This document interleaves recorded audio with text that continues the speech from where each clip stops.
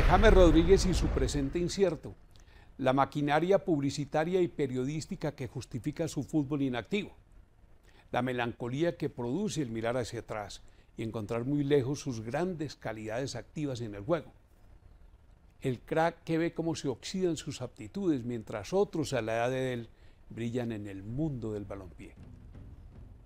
Aunque lo insólito y lo inesperado es que prepotentes periodistas y exfutbolistas, micrófono en mano, lo critican por falta de humildad.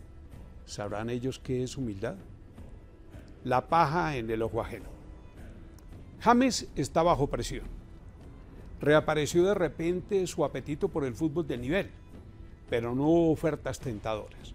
A pesar de la feria de mentiras repletas de expectativas, auspiciadas por sus voceros, que lo acomodan aquí y allá.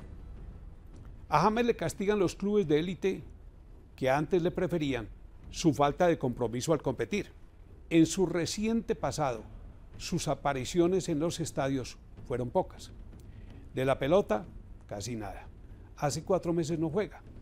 James desconoce en qué lugar de su trayectoria está. A los 29 hace dos años se declaraba un hombre mayor. A los 31 en la actualidad buscando redención se dice joven. Y lo es. Pero el fútbol a la pereza le cobra factura la magia inactiva se debilita.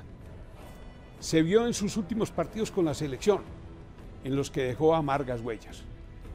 Por su falta de compromiso y de sus compañeros no fue Colombia al Mundial. Con él a tope, no lo dudo, la selección tendría a Casilla Qatar como protagonista, con opción de brillar. Pero no quiso, como no quiso la selección, porque había desaparecido el apetito por el juego. Perturbador es verlo ofreciéndose a aquellos clubes a bajo costo que en el reciente pasado lo deseaban, lo anhelaban y no lo podían contratar.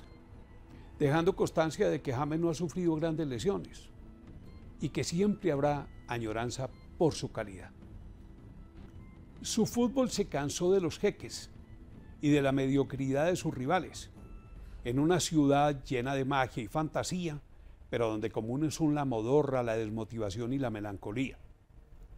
Es como un rey plebeyo James Rodríguez, preso en el país del petróleo y los dólares, porque así lo quieren sus caprichos con presente vacilante, pero con posibilidad aún de reactivar su carrera.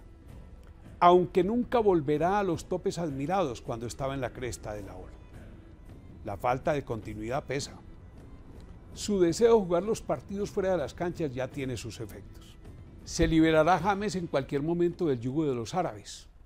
Encontrará su libertad y dejará la esclavitud del negocio. Pero como dije al principio, por favor, qué mundo loco está el del fútbol. Los prepotentes pidiéndole a James humildad. Los pájaros tirándole a las escopetas. Soy Esteban Jaramillo en libre y directo y lo digo como lo pienso y como lo siento así me cueste.